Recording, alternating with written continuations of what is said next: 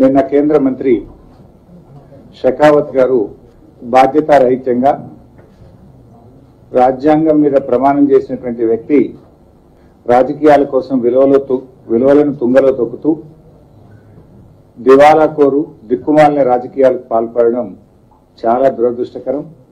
వాటిని చాలా తీవ్రంగా ఖండిస్తున్నాం. అయితే గౌరవ ముఖ్యమంత్రి కేసీఆర్ గారు ఈ మధ్యకాలంలో కేంద్ర ప్రభుత్వ నిజ స్వరూపాన్ని కేసీఆర్ గారు ఎండగడతా ఉంటే బీజేపీ నేతలకు కడుపు మండుతుంది. అంతకుముందు మెచ్చుకున్న నేళ్ళతోనే ఈరోజు పుచ్చిపోయిన మాటలు మాట్లాడుతున్నారు.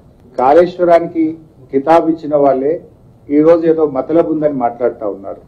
ఒక్కసారి ఫ్లాష్ బ్యాక్లోకి వెళ్ళండి. ఏం మాట్లాడినారు మీరు? ఇదే షకావత్ గారు ఏం మాట్లాడిండ్రు? గడ్కరీ గారు ఏం మాట్లాడిండ్రు? సిడబ్ల్యూసి చైర్మన్ మసూద్ హుసేన్ గారు ఏం మాట్లాడిండ్రు?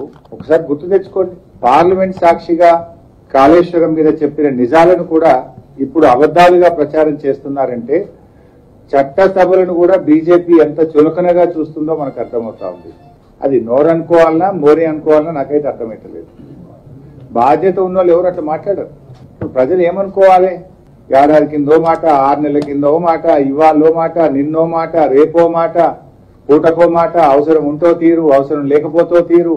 ఇంత పదవుల కోసం రాజకీయాల కోసం ఇంత దివాలకు రాజకీయాలు ఉంటాయి కన్నా ఇవాళ బురద జల్లే రాజకీయాలకు పాల్పడుతున్నారు. మరి అవినీతి జరిగింది అంటున్నారు. అనుమతులు ఎట్టిచ్చింది ఇచ్చింది మరి? ఎవరు ఇచ్చింది అనుమతులు? మీరే కదా. అనుమతులు ఇచ్చింది మీరే అప్పులు ఇచ్చింది మీరే. కేంద్ర ప్రభుత్వ సంస్థలే కదా ఇంకెవరైతే ఇయ్యలే కదా. మా డిపిఆర్ని చూసి ప్రాజెక్టు పరిమితులను చూసి అన్ని చూసి మీరే అనుమతులు ఇచ్చినారు. సెంట్రల్ వాటర్ కమిషన్ అనుమతి ఇచ్చింది కేంద్ర ప్రభుత్వం అనుమతి ఇచ్చింది కేంద్ర ప్రభుత్వ రంగ సంస్థలు డబ్బులు ఇచ్చినాయి. అంటే మీ కథ ఎట్లుందంటే మీకు నచ్చినప్పుడేమో నీతి మీకు నచ్చకపోతేనేమో అవినీతి. ఇది ఇవాళ బీజేపీ తీరు. ఎందుకంటే నేను కొన్ని వీడియోలు చూపిస్తాను మీకు. ఇదే బీజేపీ స్వయంగా ప్రధానమంత్రి గారు ఏం మాట్లాడినో పార్లమెంట్లో ఒకసారి చూద్దాం. बंटवारे को लेकर के तनाव रहता था, झगड़े होते थे, गवर्नर को बैठना पड़ता था, होम मिनिस्टर को बैठना पड़ता है कभी मुझे बैठना पड़ता था। और उस समय टीडीपी की पूरी ताकत तेलंगाना के खिलाफ लगाए रखी है उसी में लड़ते रहे। हम उनको शांत करने की बहुत कोशिश करते रहे, संभालने की कोशिश की और टीआरएस ने एक मैच्योरिटी दिखाई, चीज़ों को ना, वो अपने आप विकास में लग गए। उधर क्या हाल हुआ आप जानते हैं?